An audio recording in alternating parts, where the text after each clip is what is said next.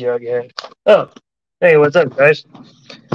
Hey, it's Jeffrey Bützer here, and I'm uh, I'm the host of this uh, this here show, Day for Night, where we talk to mostly musicians about movies. Um, this week, my special guest is a drummer um, from the Sadies. He's played with Neko Case and Neil Young. He's played with all kinds of cool people, but if even if he's never played with anybody, he's a great dude. And um, but yeah, he's had a good career. He's a great dude, and yeah, we're gonna talk about some movies, ladies and gentlemen. Mike Belitsky. Hey, Mike.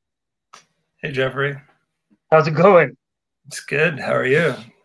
Good. Thanks for coming on the show and talk about movies with me. It's all I really know how to talk about. You know that Jughead comics. it's it's funny. I, I, had a cousin who had, had all those Archie comic digests, and like I'd spend you know go visit him in the summer and spend most of my time just reading Archie digests. So if you want to, you want to dish, you want to dish about Archie and Moose and Reggie and all those dudes, and yeah, that's great. Because I, I don't yeah. really know anything about movies. I, I I can just talk about Archie. All that's my my. Yeah, we'll thing. do an Archie one next time. um, I've read Archie since I was sixteen, about fifteen or sixteen. I think I started out reading them like ironically. I thought that would be like my thing, uh-huh. and then I still get them. In, I still get them in the mail like twenty some years later. Really? Um, yeah, I, I have a subscription. I don't like that show, that Riverdale show. It's like all it's all serious and sexy I, I, and yeah, I, I, I, didn't even give it the time of day. I can't. No. I can't. Archie will always be, you know, print in print for me. Yeah. Um. So I was thinking you before you came on, if yeah, if you remembered how we do you remember how we met? Uh, we it was in it was at the Earl, I believe, right? Like, and your band so. was playing with my band, I think, right?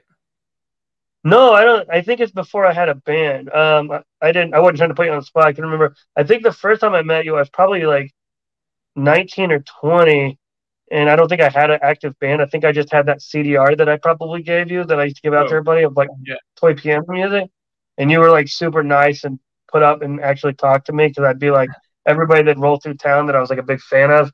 Um, like it was like you know like whoever. Um, but you guys were like a like a like a big one for me because it's back in the day. This is so long ago. The way I heard of you guys was in the back of like NME or one of those like cool music magazines, and it was like spaghetti western. Anything with the word spaghetti western in it would get my full attention. Uh-huh. And uh, the first time I saw you guys, you opened with "Empty the Chamber," so I I'd never heard a note of your music. It's back before you could like go- look it up, you know. I just read that, and you guys opened with "Empty the Chamber," so like I fell in yeah. love with you guys like right away. But yeah, you were super. cool. I'm joking around, but you were like super cool. And we talked. We talked for a while. Uh huh. Yeah, I, I definitely remember. I remember that. I, I I used to love opening the set with "Empty the Chamber." I thought that was a real, a real uh, way to like come come out like gangbusters. But yeah, we haven't done that in years. But yeah, that that was. well, it worked. How much is your um? How much of your sets are like instrumental now that you guys? Because like it used to be a lot of instrumentals, but I haven't did, seen you yeah, guys in so long. That definitely started to um, to diminish over the years. Um, but there's still there's still some that we'll throw in there from from time to time. But uh, yeah, it was starting to it was starting to take a bit of a. Not that it was any less important. Like we still enjoyed composing those instrumentals on our records, but they were fewer and farther between. A little more, maybe they were a little more like to make up for that. They were a little more grand. I remember um, I asked, I think it was Travis. I asked um, if you guys were like really all into spaghetti western movies because like obviously a lot of those early records had a lot of that, like uh, was a Cloud Eater and um, I think oh, that's Cloud right. Rider. Cloud Rider. Um, yeah and like stuff like that had like a real like epic spaghetti western sound. I just remember him being like, numb. he's like not a ton." He's like, "I just when you put a ton of reverb on those guitars, that's what that's what they want to hear. That's what they want to be played on them or something like that." but were you are, are you really into those movies? Like into like the deep cut spaghetti westerns at all? Or?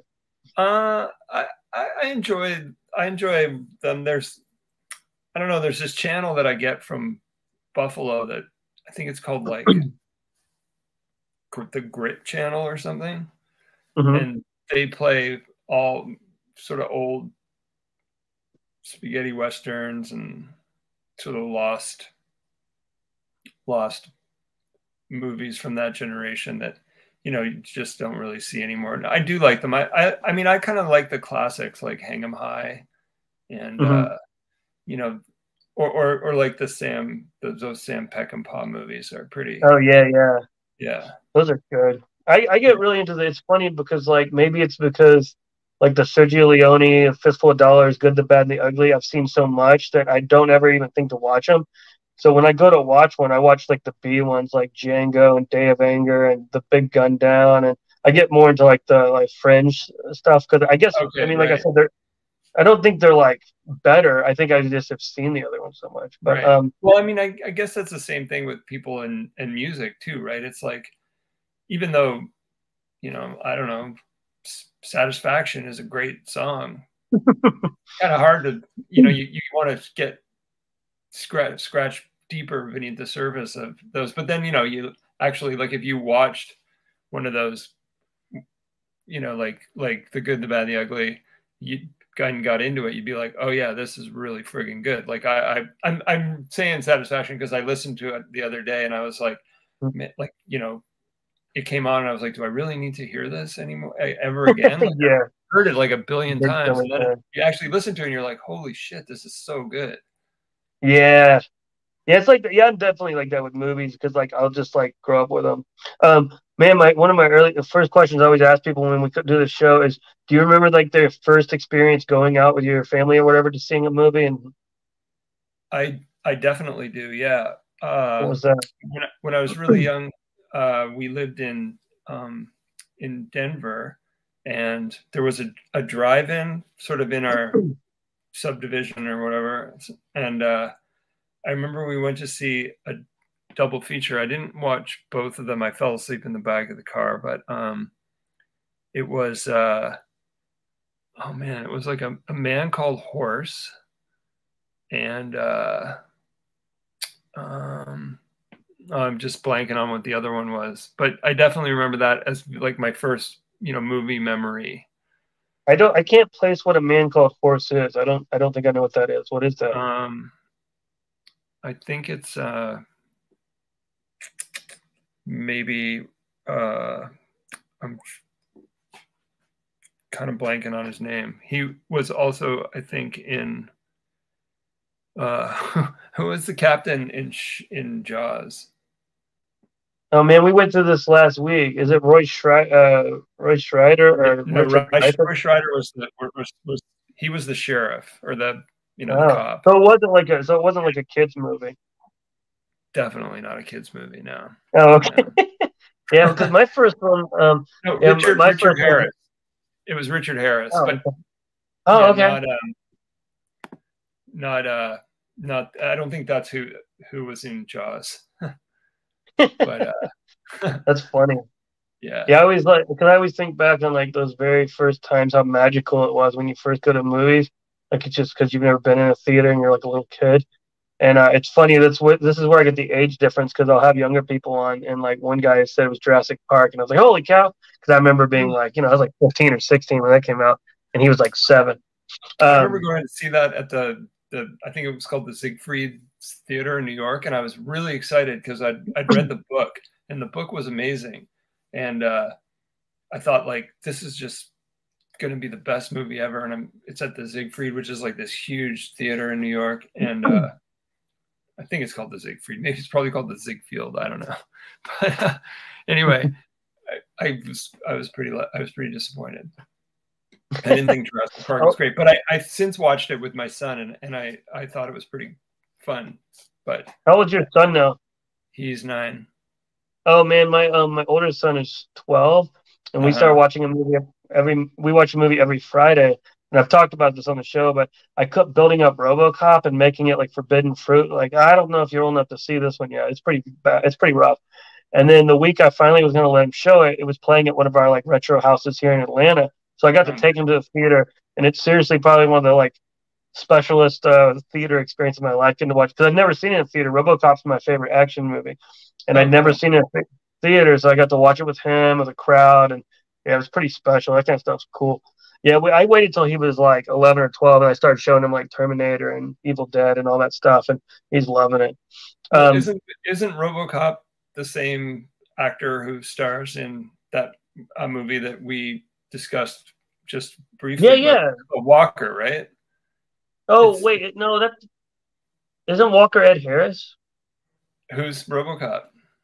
It's uh Peter Weller.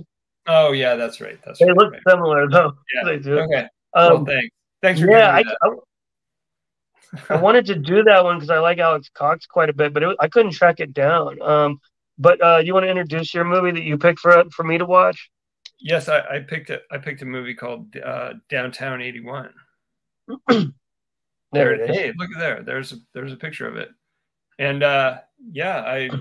Uh, it's a special movie for me because when it was when it takes place was sort of the first time I ever went to New York. I don't, and I mean, like just to think, like I, I went there when I was probably 15 or something, or you know, 14 or 15, and to think that like this was happening parallel to my, you know, like this world of the East Village was happening as I was, you know, going to uh, Shea Stadium with my dad and you know going yeah. to musicals in Times Square and I, I just was a little too young to to have caught that but uh, that era of music and art and the downtown scene in New York is a really special holds a very special place in my life and and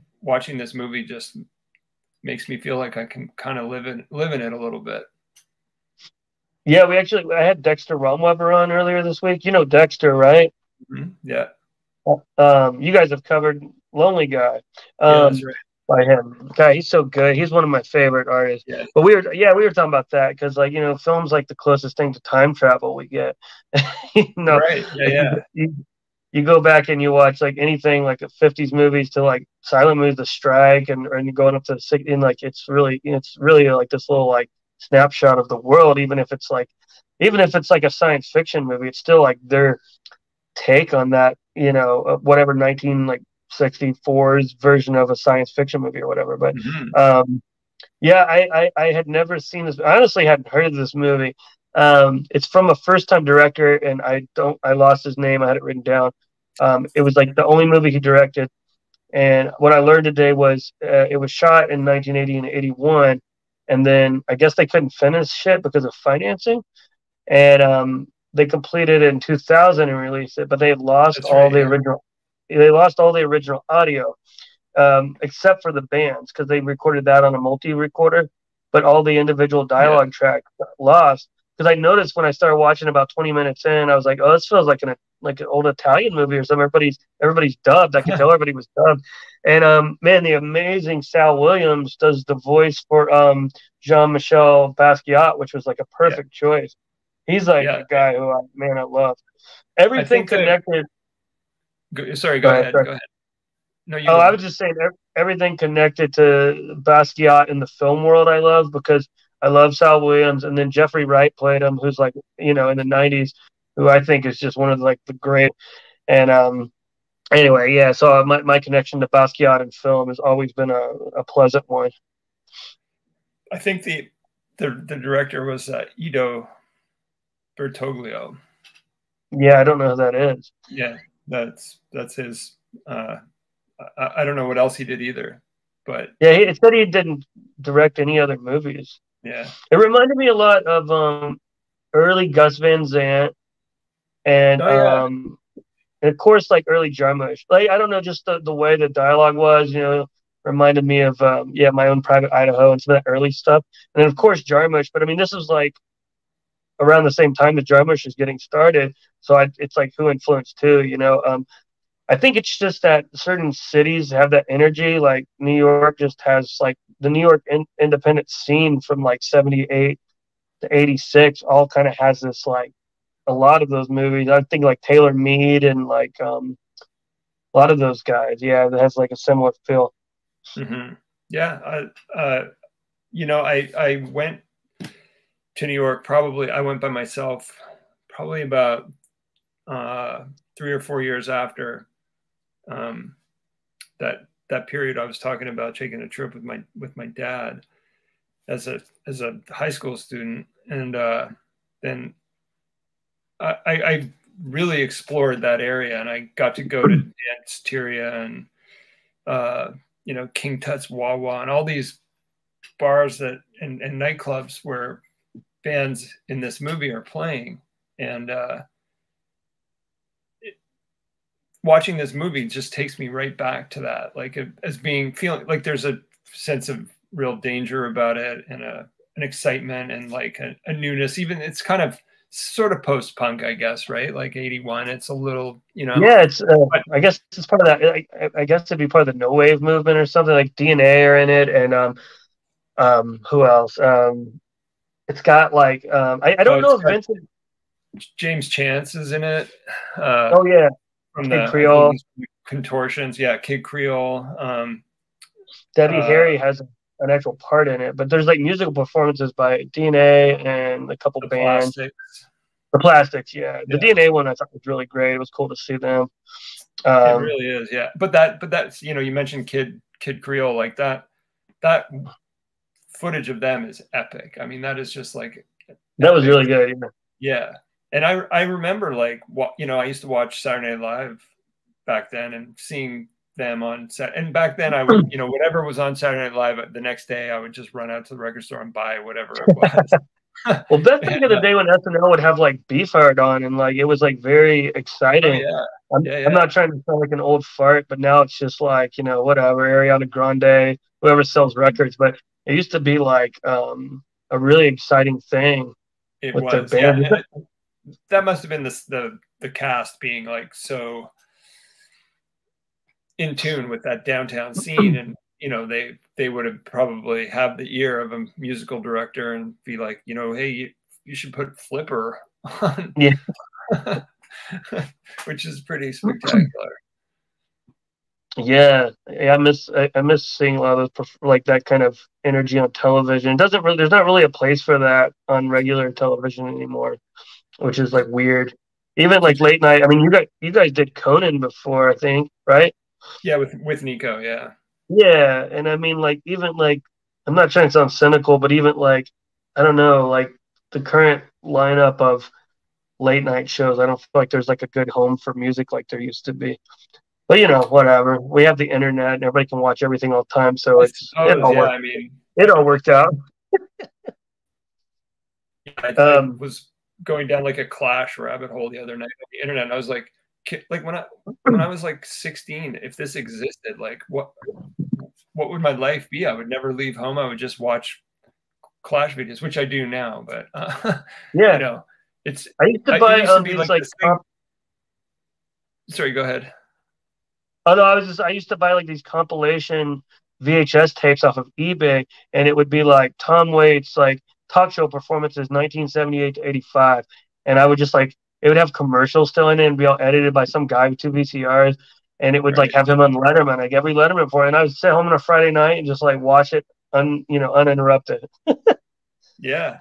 No i mean um i used to scour like the pages of magazines like trouser press and just looking for any little tidbit of a you know a, a british punk band or a photo or a, uh, so just I, I was living in Halifax, Nova Scotia at the time, so there was no like there was like kind of in the middle of nowhere, and that's was the only way to get anything was you know some one dude would have a copy of a magazine and we'd all like look at it. And, yeah, there was something like kind of like fun with film. I was more of a film guy. Like I had um um, I had pretty good access to music collections through my sisters, but like when I started getting to film, I always talk about how like the first time I saw Eraserhead, it had like Japanese subtitles, and it was like a copy of a copy of a of a video, right, right. and yeah, and it was like you know it wasn't blocked right, and like it was just weird. And a lot of movies, like I remember um how exciting,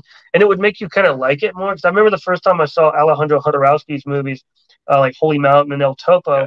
I liked them just because it was like it was like tracking down the Holy Grail, and I finally got it and popped it in, and I'm like, well, I right, better right. like it.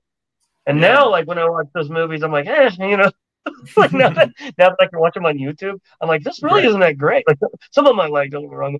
Speaking of music, some I didn't write a lot of notes for this.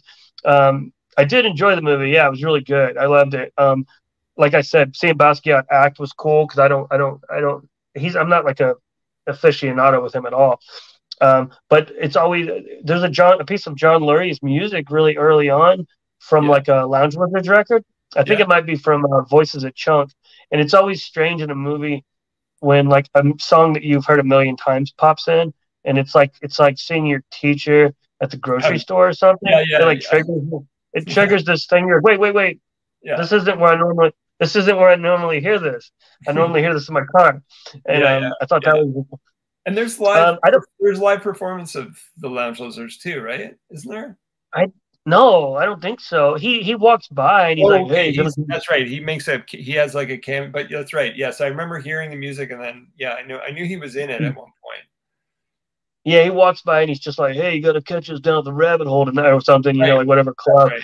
and yeah. like and he like bumps him on the arm or something, which was cool. Uh, I like the music in general. I can't figure out. I imagine Vincent Gallo did the music in the year 2000 because uh, he did he did the additional score, and yeah. I don't I don't know how I don't know that he would have. I mean, he could have done it back then. I guess. I mean, he was like he, he, was in. I mean, he was in the band, right? Like he was. He performed with Basquiat, right? Like they. Oh, Gallo did.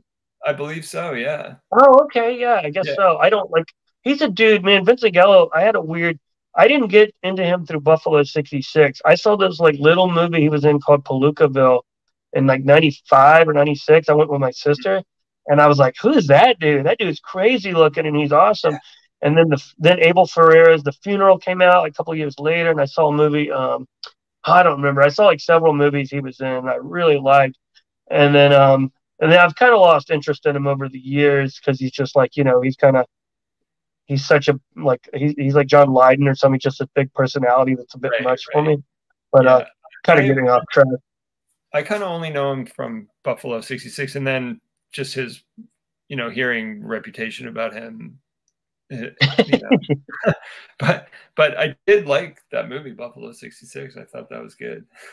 yeah, I thought it was great too. I um, there's some uh, issues I have overall with like just the theme of it being about like um, you know, this young, beautiful woman who happens to fall in love with him after he. It's very male fantasy driven, right you know, like, but it's like well made and it's funny and like, I mean, he's aware of that. It's not like he tries to like hide that, but also there's some there's great music from like um in your movie that we that we're talking about, Downtown '81. Fab Five Freddy's in it, which was awesome, and like it was just so yeah, it was so like that's why it reminded me of Drummers because it was so like encompassing with like um not just the rock and no wave scene, but it had like hip hop, and that was like you know pretty early in hip hop. So I thought it was really great. What was like? Definitely, um, yeah. did did you did you tell me how you came across it? Like, how did you come across this movie? Did you just see it when it came out, or? I didn't see it when it came out. No, but uh, a friend of mine, uh, his he um distributes it in Canada, I guess, probably just Canada. Oh. Um, films called Films We Like, and he just when I first moved to Toronto, um, laid a bunch of DVDs on me, and I watched it then, and then uh, you know, really, really dug it, really loved watching it, and uh, and uh, then because I had this, I had to sort of really lay low for a little while rehabbing this wrist surgery. So I would mm-hmm. just do like, you know, watch a couple movies a day. And um, I noticed that it was on one of the platforms. So I was like, because, you know, I, I can't, I don't know where I would have put that DVD. It's somewhere. I didn't throw it out. yeah. Uh, and then there, so there it was. And I was like, oh man, I love this movie. I got to check it out again. So, so I was just sort of refreshed by it, maybe like a month ago, basically. I I oh, hadn't, cool. I hadn't watched it, and, and and but I always think about it, and I always think about it when I hear like you know, not that I hear them a lot, but like Kid Kid Creole or mm-hmm. you know, DNA or something like, and then I don't know, just like you you mentioning uh, the Fab Freddy stuff and uh, yeah, there was something I forget exactly what the reference was. I think I was listening to an interview or watching a movie that he was talking about like his uncle playing him some when he was a kid, like some uh, jazz album, and I forget who who the actual, but it was like maybe like Art Blakey on drums, and it was like some some famous, very uh, quintessential jazz album that was recorded live at Massey Hall in Toronto. So mm-hmm. I, I, I, keep meaning to track it down, and uh, so it was just cool to see him again, and you know, back to it to the Clash, like how influenced they were by that early hip hop and funk scene that was going on in New yeah. York. Uh, you know, they have that that whole like radio clash and overpowered by funk song, and yeah, it's just always been like a a cool uh, cool reference point in music, in rock music that I think gets gets forgotten about a lot. Is is that you know people who were really that that was like an in, integrated part of the downtown New York punk scene was like yeah. also this this hip hop element as well. Yeah, I think like yeah, hip hop's I think so important to culture and like I love it. I still love it. My son, that's like all he's into right now is like run the jewels and um, you know and all that kind of stuff. And I, I think it's pretty awesome because I, I love it too.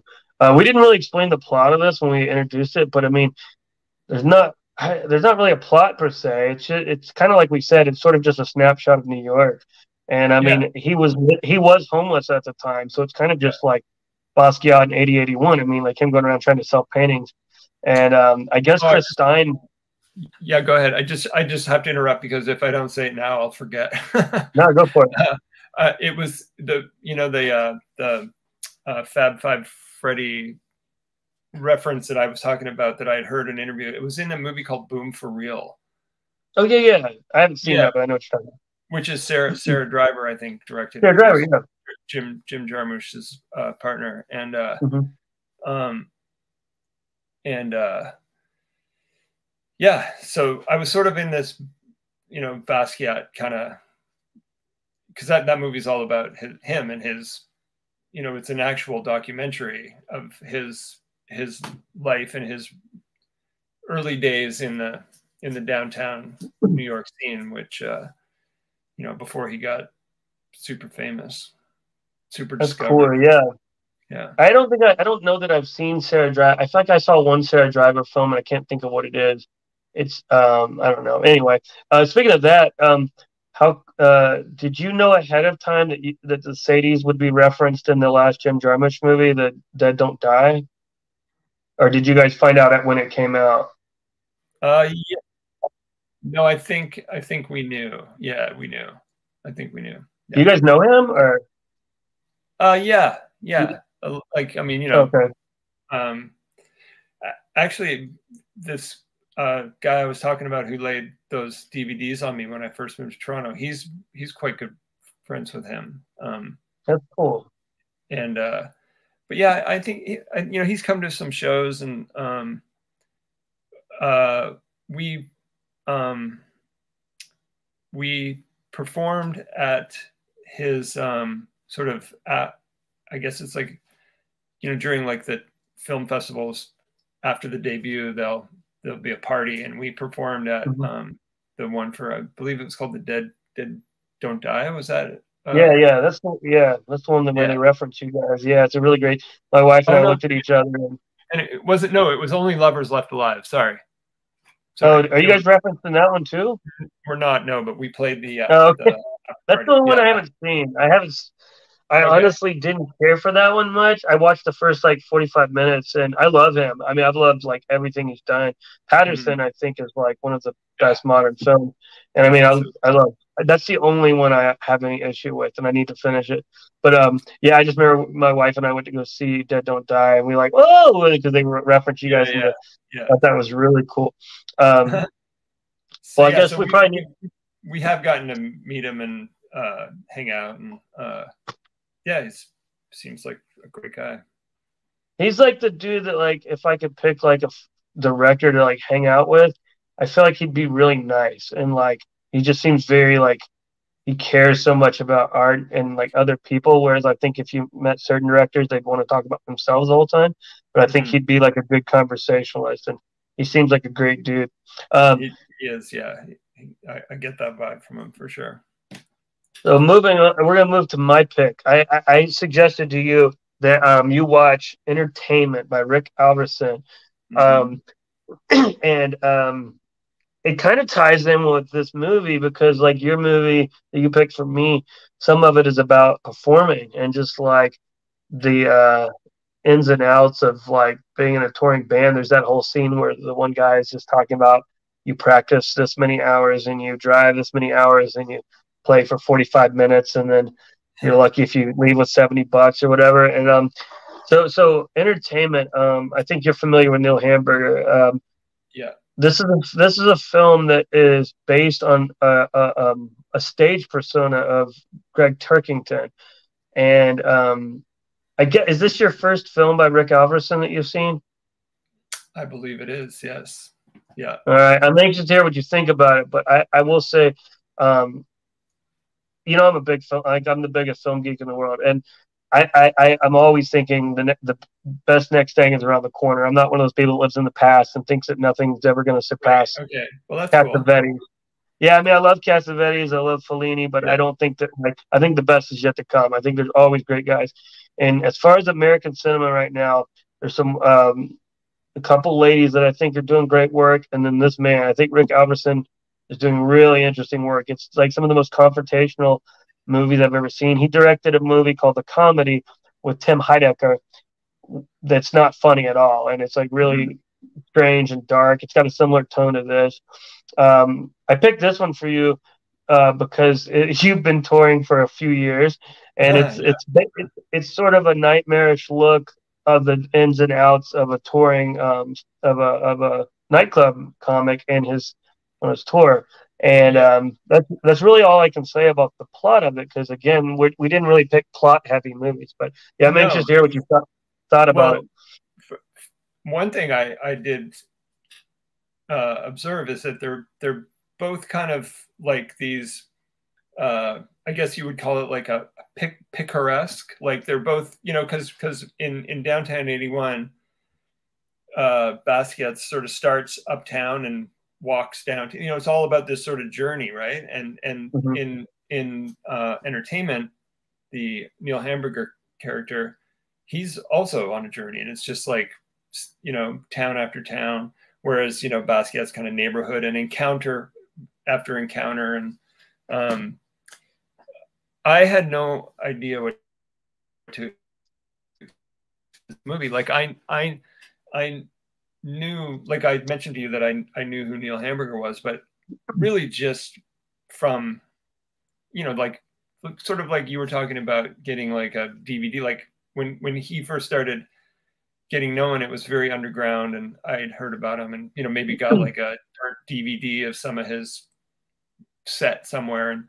you know I, I actually always kind of everyone was like, "Oh, dude, this guy's so not funny," and I was like, I actually kind of find this funny. Like I I kind of like it, and the movie opens up with him performing and telling a couple of jokes, and I'm laughing. In a prison. that, that was probably the only time I laughed in this movie. Like it got Yeah, it's not funny.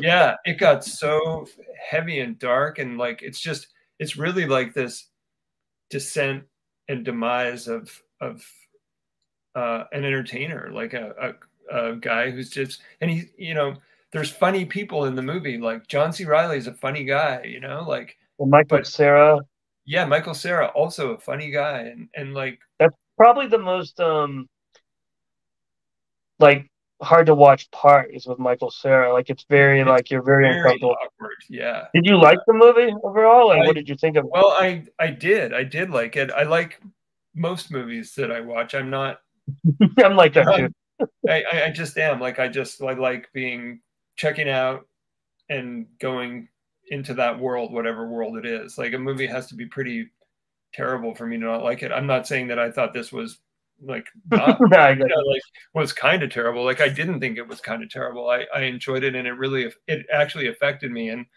um I don't know how like how much detail you go into on the podcast. I don't want to ruin the movie for somebody who might want to watch it, but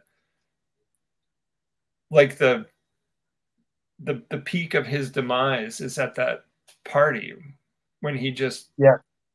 I mean it's it's so disturbing and it really left like it left like this.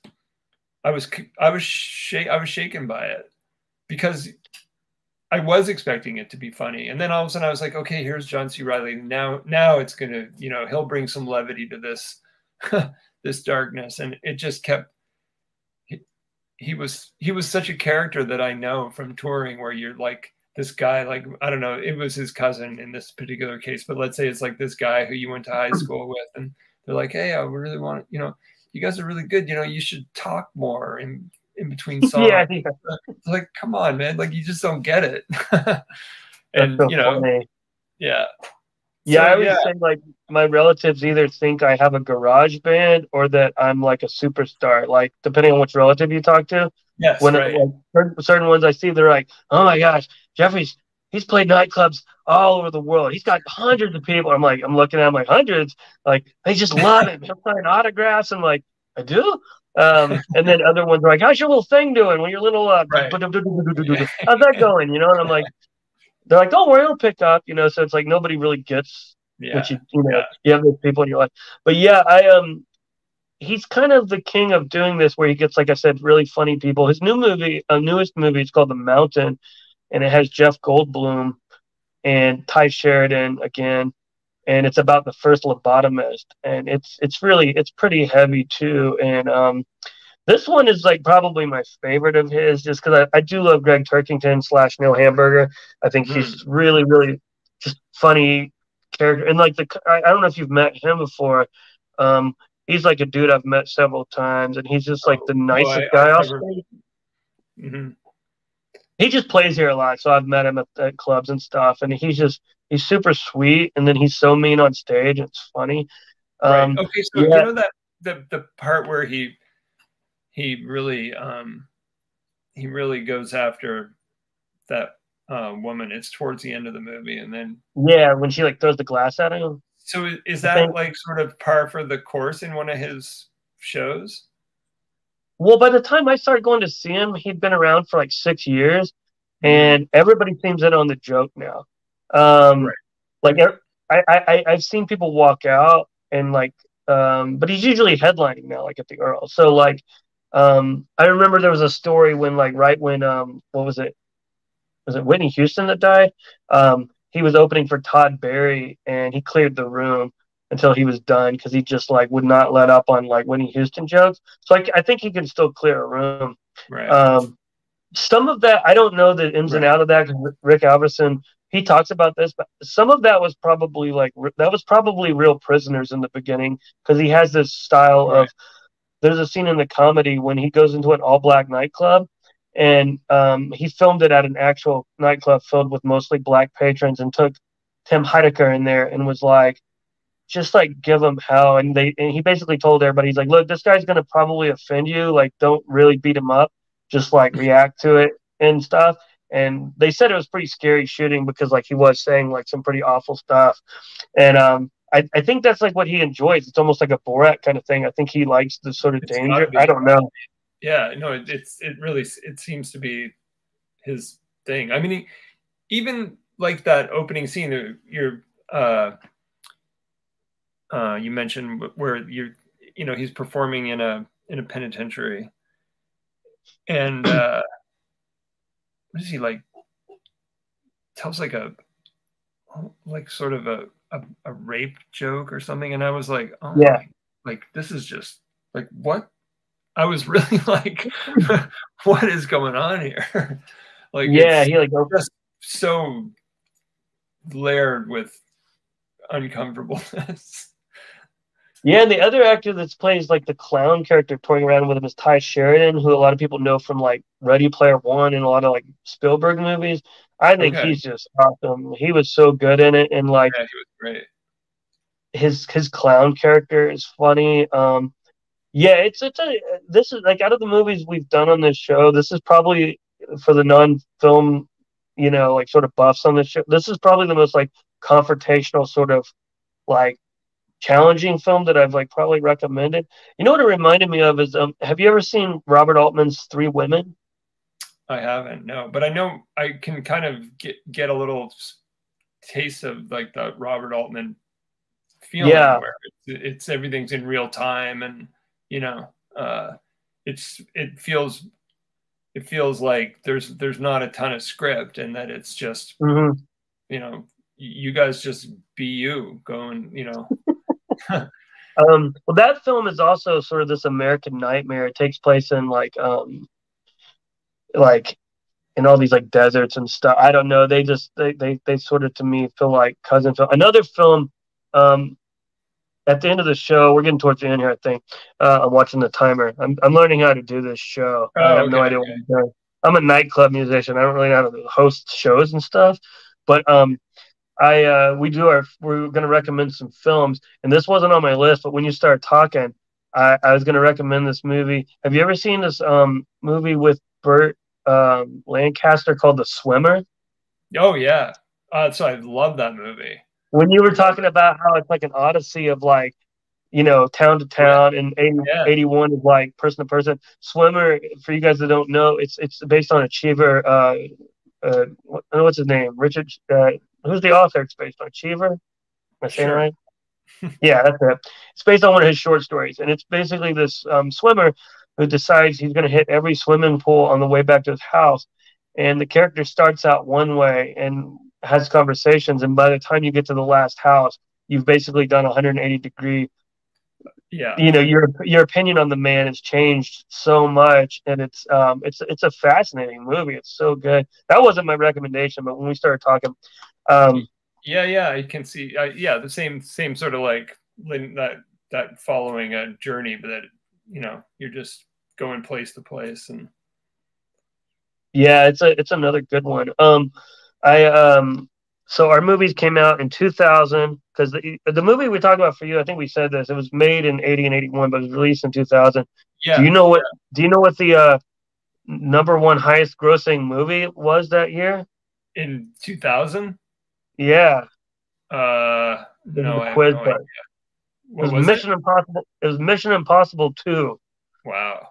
And then Gladiator.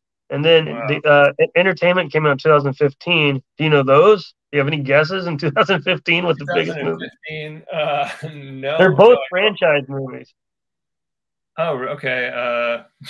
Uh, uh, I don't know. So, was there a Star Wars that came out in 2015? Yeah, man. It was it was the Jurassic World and then Star Wars Force Awakens. Those were the top two. Okay. I have um, I, I keep um since I've gotten older, I keep a list of every movie I watch now because um, I, I, sometimes have to cross check if I've seen or anything.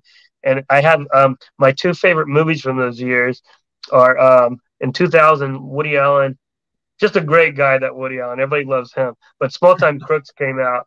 And then uh, this movie called Songs from the Second Room. And then 2015 was when um, Mad Max Fury Road came out. Mm. And this animated movie by um, Charlie Kaufman called Anomalisa. So those are my those are my favorites. But um, I want you to end the show, so I'll let you talk about your your recommend. The, the movie I recommended is uh, Renee. You got the image for this one? It's called the Linguini Incident. I was wondering if you've ever oh. seen that. Yeah, I feel like I did see that. Yeah. So okay, so this this is available on YouTube. Other than that, good luck finding this. This is this like 1992 kind of almost like I don't know. It's this comedy, almost like Fish Called Wanda kind of humor. It's like really goofball, and it's David Bowie and Rosanna Arquette, and he's trying to get his green card, and he's trying to like trick somebody at the bar he works in at to like marry him or something like that. It's been a it's been about a year since I've seen it, but anyway, it's really goofy. A lot of people hate it. It has a pretty low rating on Rotten Tomatoes. But if you guys feel like watching something silly with David Bowie, that's my recommendation. And uh, yeah, so yeah, thanks for coming on the show, man. And like, yeah, if you want to do your do, do, your film recommendation and okay. anything you want to say. I, I just want to add before we before we go to my recommendation. Did, have you seen The Man Who Fell to Earth? No, I still haven't seen that. I'm sorry. Okay. Have you read the book? No. Oh, okay. I'm terrible. I, I, I'm not I like a read the massive book and guy. and then saw the movie sort of like back to back, and I think you kind of need to read the book. I was going to say like if you do like David Bowie, Okay. you know, read the. uh, But if you don't like reading, it might be tough because the books. No, I do. I do. I just um, I'm not big on sci-fi in general. Oh, but, really? Um, yeah, I'm kind of. I just like people talking. My son the other day was like, "What are all those black and white French movies you watch?" I was like, "Yeah, just people talking about crap. That's what I like." But um, yeah. So your Uh, your def your, recommendation is a black and white movie with just a bunch of people talking. It is. Yes, it's, it's called uh, "Permanent Vacation" by Jar- our the guy we've been talking about, Jarmusch, uh, Jim Jarmusch. It's uh, also takes place in New York. It's kind of uh, it's kind of vague. Like a few th- things about it. Like there's uh, the scene where he the the the lead and and again, I don't think the actor who plays the main character ever really acted in anything else afterwards, or I couldn't find anything. Um, It was it was Jarmusch's first feature, right? it was, yeah, yeah, Yeah. and uh, yeah, it's great. It's just like like bomb, like bur- burnt out downtown New York City, and then there's this scene where he, this guy like he comes across like this this veteran. Do you, have you seen it? Do you know the, what I'm that scene I'm yeah, talking it's about? been a long time, like probably like Yeah. 15 years, um, And- and maybe it's like- longer.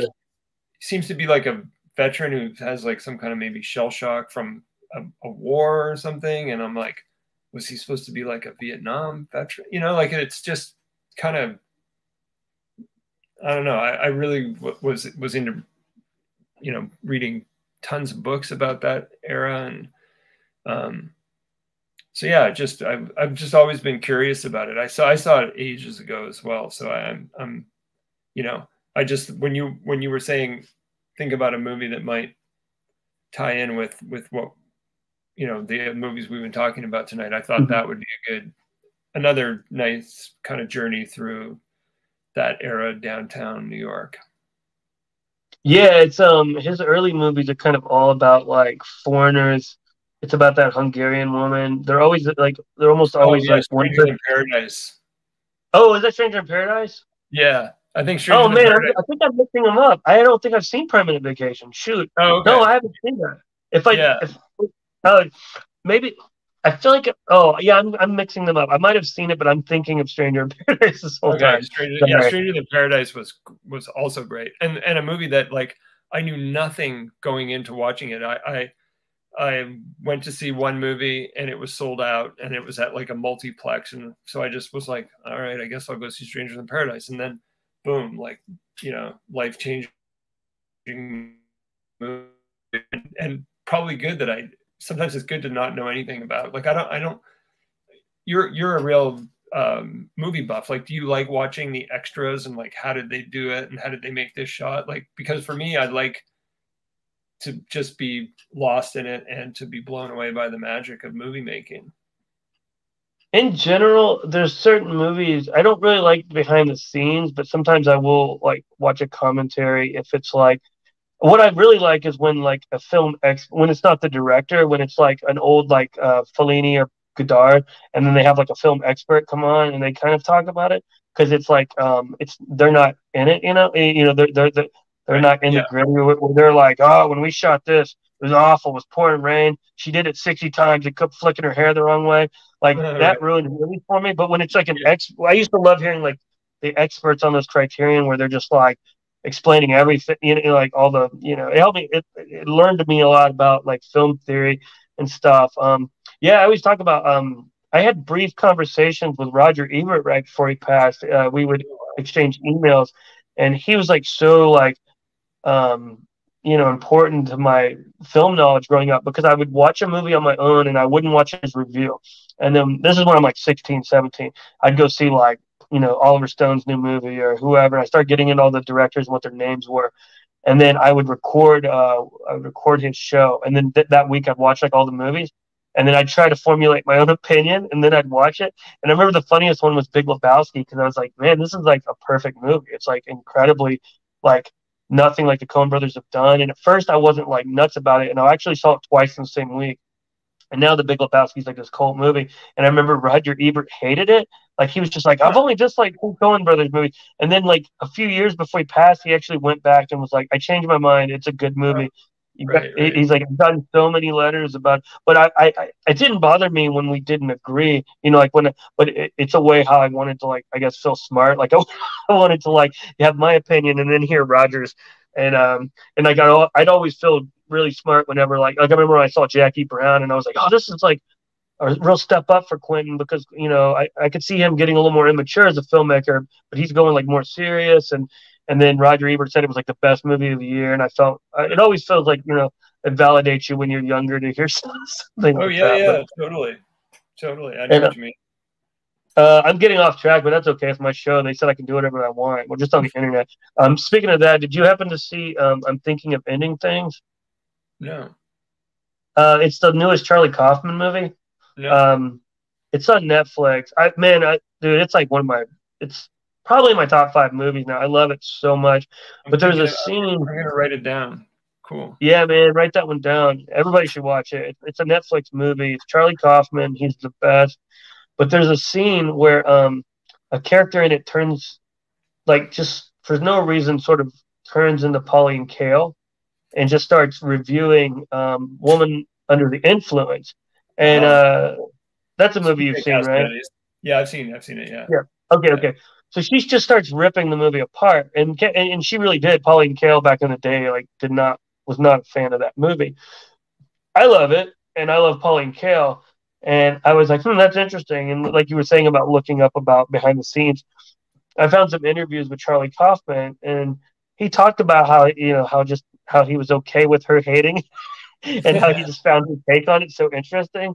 And that's kind of where I'm at now. Like I really don't. Um, you know, I like some universally hated movies. I wrote a play about, you know, a woman who's obsessed with Waterworld. Um, I just like movies in general. Um, but but yeah, I, I, I, would find that interesting because Pauline Kael's another woman who like her her reviews were really interesting to me, and when she would just like completely disagree with me, uh, you know, I th- thinking back, it probably made me feel stupid sometimes, but now I I like reading those where like Blue Velvet or something, which like you know most people, most film buffs just love Blue Velvet. You, it's hard to find somebody that love, but Roger Ebert notoriously like ripped it apart. You know. Right. Um, speaking of, uh, do you have like an all-time favorite movie or director? Um, I know some people don't do that. I, I just wonder. I mean, it's it's it's hard because, like, forever, my all-time favorite movie was the Omega Man with Charlton Heston. Oh yeah, you told me that. That's yeah, right. Yeah. And I and I mean like actually my all-time favorite movie, but the scenario and circumstances surrounding me watching it are my favorite and so it left a huge impression like I remember my dad and I were driving through like through Maine and there was all of a sudden like this total whiteout and we had to get a motel. And I mean, I'm I must have been like 11 or 12 probably. So probably too young to watch it. But, you know, so there we were just like two people in a motel room and it was on TV and he let me stay up and watch it. And I don't know, you said you don't like sci-fi, but I, I, I think that's why I like sci-fi so much is that movie really like got me into that whole dystopian type of uh, type of scenario. And uh, yeah, I started reading like Ray Bradbury right around then too. Oh, cool. so. I don't like. I don't like. Uh, it's nothing that I don't. I dislike in general. There's some like I have several sci-fi movies I love. I like. um I like the original Solaris a whole lot. Actually like Soderbergh's Solaris too. That's my favorite like science fiction story. Like just the actual the original story. is the Russian one, right? Yeah, by Tarkovsky. Yeah, I, ju- I just saw that um, maybe like two months ago. I'd never seen it. Oh, before. cool. It's yeah. uh, so. Have you seen the remake? No. Okay, so um, spoiler alert. So the ending of Solaris is like one of my favorite endings ever, where like he goes back home and then he walks inside and there's a glitch in the Solaris and it's Yeah. raining in his house, whereas it was raining outside his house, which I think was just one of the most powerful scenes. And Right. like uh, philosophically, it was so interesting. They what they did in the new one was so lame, but the movie's good. But um, I don't want to ruin it for you, but it's worth watching. I think it's a good. It's short. It's like 85 minutes or something. Oh, but, um, short. And there's also insane clown posse music in the new one, which I thought was we- a weird choice. Um, but but I still somehow enjoyed it. I think just because I, I mean, I love that story so much.